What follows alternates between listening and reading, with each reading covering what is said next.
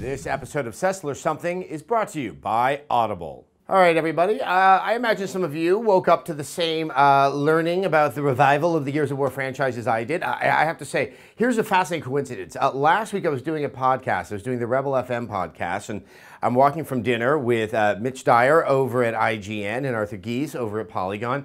And we had kind of talked about how it would probably be a good idea if Microsoft tried to buy back the IP from Epic. And we were like, I don't know if they would do that. Oh, ha, ha, ha, ha, ha. Whoops. Uh, yeah, well, as some of you said, I'll start talking about The Last Guardian and stuff like that and see if we can start a trend. Um, with that in mind, um, I'm, I'm, for the most part, I'm quite happy to see the revival and the continuation of the Gears of War franchise. I really, really like the games. Um, I know there were flaws there, but overall, I think their impact on gaming, uh, it really cannot be understated that the cover system, the use of the cover system, they didn't invent it, but they really turned it into uh, something that was so essential in in action games. Uh, and especially in third-person action games, that it's something that we now expect to see. It, its, its effect upon game design cannot be understated. Um, I liked it for other reasons as well. I like monsters.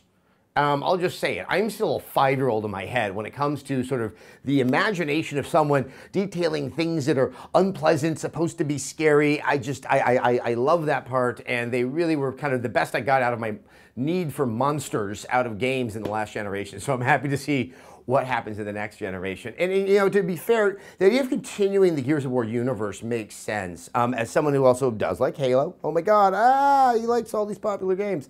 Um, one of the things that's really bogged down Halo is the opacity of its mythology and everything, and the ability to try to tie it all together. I think sometimes it means when it moves forward, it has to move forward at such an epic level. There's an ironic word um, that you know it, it, it, it, can bog itself down.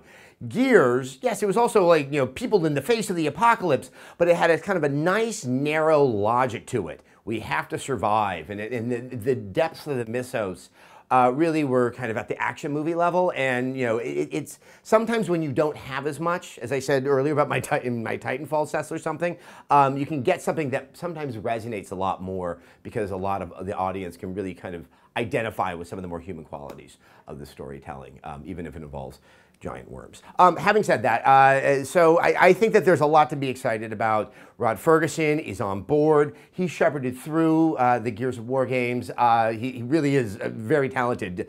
Getting Bioshock Infinite out the door was probably not the easiest thing in the world. Um, so this is all good. They're doing it at Black Tusk Studios, which is a newly acquired or created Microsoft studio. Um, these, this all sounds good. I'm looking forward to more Gears. I'm looking to see what happens with Gears with new technology, both Unreal Engine 4 and, and on the Xbox One. I think what some other people have remarked on is because it's going to Black Tusk and they are, you know, this new studio from Microsoft, uh, we saw a kind of a snippet of something that was kind of hard to parse at their press conference at E3 last year.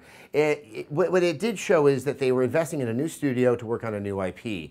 And from what I can tell from statements from Phil Spencer, they're probably not going forward with that new IP. They kind of walked back on how real or how particular that game was that they showed there. And while I'm happy that they're doing Gears, um, it is a little bit worrisome that, you know, when they're finally willing to kind of make their own games again, that was a huge problem for Microsoft during the tail end of the, of the 360, um, that they're not as willing to seem to invest in brand new IPs. And that's something that Sony does so well. Um, Sony really knows how to continue existing franchises, Uncharted, God of War, and then do things that are more experimental. Throw some stuff against the wall and see if it sticks. It's not always, you know, the most fiscally responsible way to go about it, but, you know, in in a creative environment like games or film or literature, uh, you have to take those chances because you just don't know when you're going to hit that zeitgeist the right time.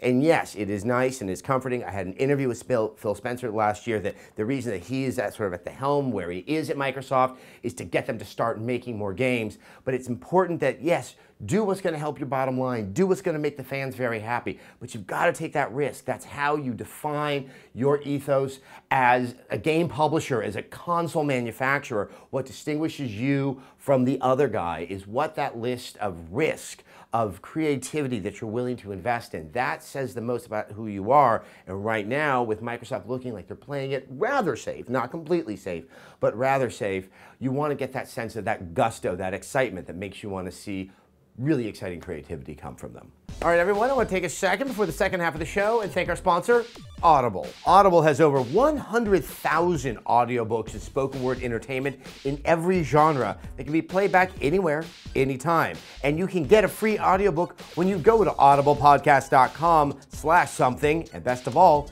every sign up helps support the show. All right, time for our question. Uh, here we go. This is from Eric. Did Broken Age help or hurt Kickstarter's image? Would you financially support another promising looking game from Double Fine via Kickstarter?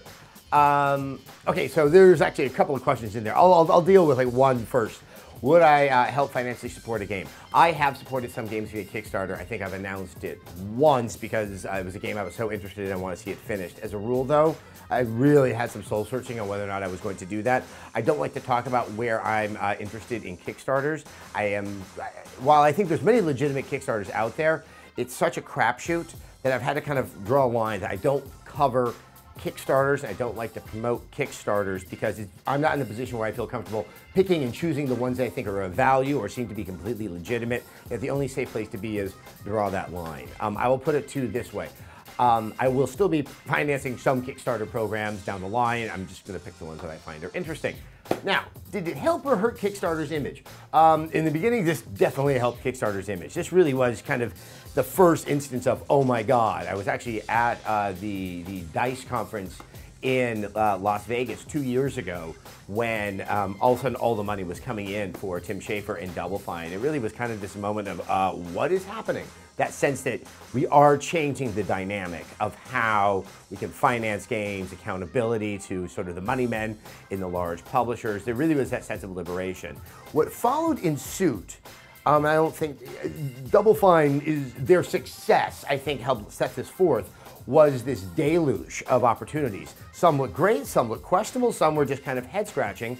Um, it, it, became so big, so fast. I think there was that, that question if the center can hold.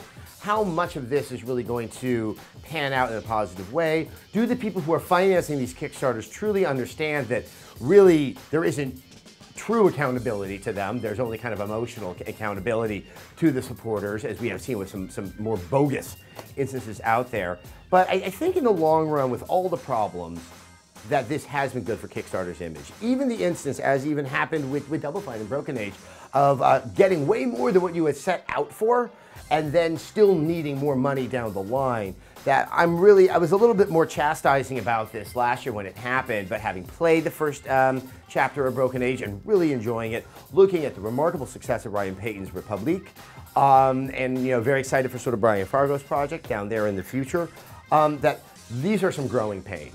This really is pretty uncharted territory. And now that we're starting to see more and more of these high profile projects coming out, and they are good games, and it looks like the money went to good use, I can feel myself becoming a little more comfortable with it.